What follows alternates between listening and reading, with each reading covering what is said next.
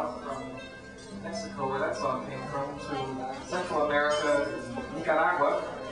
This is a song that was written by one of our favorite songwriters from Nicaragua. His name is Luis Enrique Mejia Godoy. It's a song that was written, there are two very distinct cultures of Nicaragua, on the east coast and the west coast.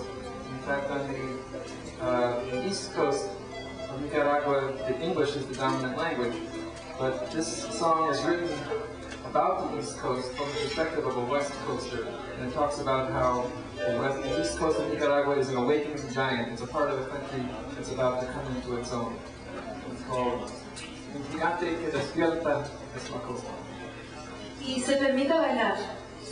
You're allowed to dance here.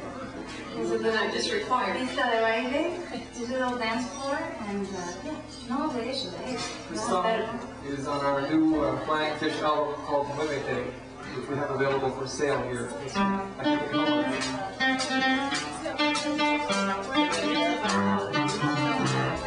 I